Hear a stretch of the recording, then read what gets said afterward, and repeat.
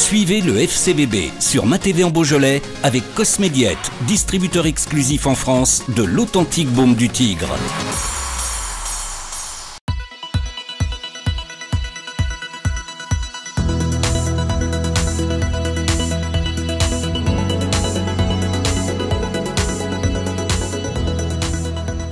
Alain, cette nouvelle journée s'est soldée par un match nul qui est quand même intéressant, un point positif. Ça aurait pu être mieux ce soir du côté de Créteil. Oui, ou ça aurait pu être pire puisqu'on était mené jusqu'à la limite limite du temps euh, additionnel et on a trouvé les ressources pour aller égaliser. Après, euh, voilà, ce qui est encore une fois un peu frustrant, c'est qu'on renouvelle des scénarios un peu identiques ces derniers temps, c'est-à-dire qu'on mène au score, que ce soit à Pau, on mène au score, euh, Laval, on mène au score, là, on mène au score. Et pourtant, on a l'habitude de dire que quand on ouvre le score en national, on fait quand même une grosse part du, chemin pour prendre des points. Alors c'est vrai qu'à chaque fois, on a pris des points, mais je pense que voilà, il faut qu'on arrive à être euh, plus hermétique pour pas euh, donner à manger à l'adversaire et leur permettre euh, ben, soit de, revenir au score, voire même là, comme ce soir, nous dépasser. Parce que, parce que sinon, on n'avance pas aussi bien qu'on voudrait. Parce que je pense que sur les contenus, après, il y avait matière à, à faire mieux ce soir. Je pense qu'on euh, a fait euh, deux erreurs qui nous ont coûté deux buts et à côté de ça, je pense que dans le contenu et dans le fait de, de prendre l'ascendant sur l'adversaire, notamment toute la deuxième mi-temps, je pense que voilà, s'est créé pas mal de situations, que ce soit sur coup de pied arrêté, sur des frappes, euh, le gardien a fait un arrêt. Donc voilà, heureusement, heureusement, on revient avec un point parce que ça aurait été encore vraiment très très frustrant de repartir de Créteil avec une défaite.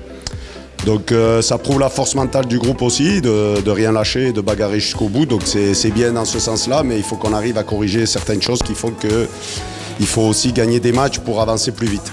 Quelques décisions également qui ont été prises par l'arbitre un peu bizarrement sur le défilé de la, rencontre, surtout à la fin. On peut dire euh, ce penalty qui aurait mérité à Villefranche éventuellement. Ouais, nous, euh, voilà, à vitesse réelle, on voit que Timothée est fauché. euh, voilà, c'est les arrêts de jeu. On vient de revenir à un partout, mais la faute qui existe dans la surface, même si c'est à la 97e ou à la 96e, elle existe. Et je pense que Créteil en a bénéficié à Pau euh, dans les arrêts de jeu. euh, voilà, et l'arbitre n'a pas hésité, il a sifflé un penalty. Moi, je vais revoir les images, on verra bien, mais je pense que c'est vrai qu'à vitesse réelle, on voit qu'il y a penalty et qu'il est dans la surface. Donc, euh, ça aurait été encore euh, une joie supplémentaire de, pouvoir éventuellement marquer ce penalty.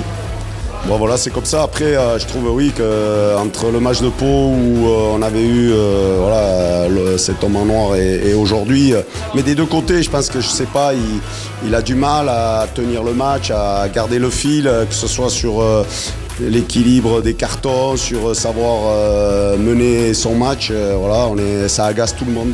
Et ça fait deux matchs. Bon, voilà, c'est dommage, c'est un jeune arbitre. Il est sûrement en apprentissage de ce niveau national, mais, c'est vrai que c'est- des fois un peu perturbant sur un match parce que tout le monde s'agace. Et, ça ne devrait pas être le cas sur un match comme aujourd'hui parce qu'il n'y a pas eu de, choses vraiment très très compliquées à gérer. La suite, Alain, c'est le 7 tour de la Coupe de France et ensuite match retour, enfin match aller toujours à domicile avec cette belle équipe de Concarneau qui va venir à Villefranche. Ouais, ben là, on va se mettre en mode Coupe de France. Euh, après, ce qui est bien pour nous, entre guillemets, c'est que au niveau du planning, ça nous bouleverse pas puisqu'on joue vendredi soir. Maintenant, on sait que on aura fort à faire à, Bourgoin parce que moi, je suis allé les voir contre Lyonnais qui était premier. Ils ont fait vraiment un gros, gros match. Donc là aussi, ça va pas être une partie de plaisir. Euh, voilà, il va falloir être euh, à notre niveau, on sait que c'est toujours des matchs compliqués. Euh, si on veut passer un tour, ben, il va falloir vraiment être très très fort. Et puis après, on basculera sur Concarneau, mais c'est dans, un- dans 15 jours, donc on a le temps d'y penser.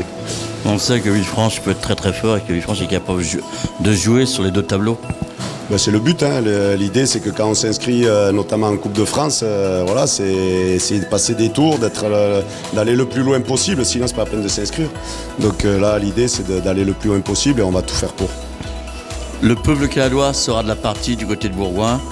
Un quart de supporters, voire deux quarts, sont pratiquement pleins pour aller encourager les Tigres caladois du côté de Bourgoin. Ouais, c'est parfait parce qu'on a besoin de, soutien et dans ce genre de match, voilà, si on sent qu'on a des voix supplémentaires derrière nous qui nous poussent et qui font la contrebalance du, ben, sûrement du peuple aussi là-bas de Bergalien. Donc euh, Voilà, c'est très très bien et je pense que voilà, on a besoin de ce soutien, d'avoir du monde derrière nous, d'avoir un engouement et la coupe elle permet ça et c'est pas que quand ça brille qu'il y a une équipe de Ligue 1 qu'il faut être là, c'est aussi dans ces tours-là donc euh, voilà, tant mieux s'il y aura du monde.